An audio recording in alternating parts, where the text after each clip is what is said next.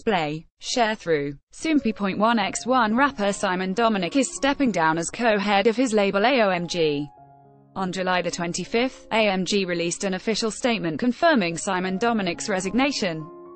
The rapper is not leaving the label, but plans to focus on his work as an artist. Soompi. Display, News. English .300x250, BTF Soompi. Mobile. English .300x250, ATF Earlier the same day, Simon Dominic had released a song titled Me No Jay Park, in which he talked about wanting to resign.